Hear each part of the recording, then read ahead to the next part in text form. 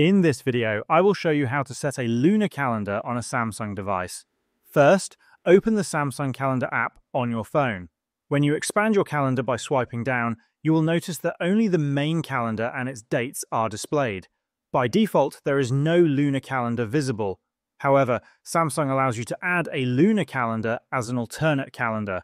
The dates will then be displayed directly below the main dates instead of replacing them. To enable this feature, tap on the menu icon at the top left corner of your screen.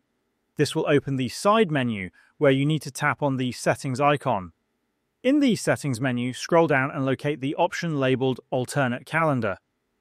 Once you find it, tap on it to open the selection menu. Here you will see several lunar calendar options available, including Korean lunar, Chinese lunar, and Vietnamese lunar. These options allow you to display traditional lunar dates based on different cultural and regional systems. Select your preferred lunar calendar from the list.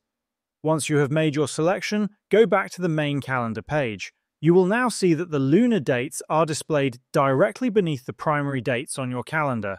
This is how you can successfully set a lunar calendar on a Samsung device.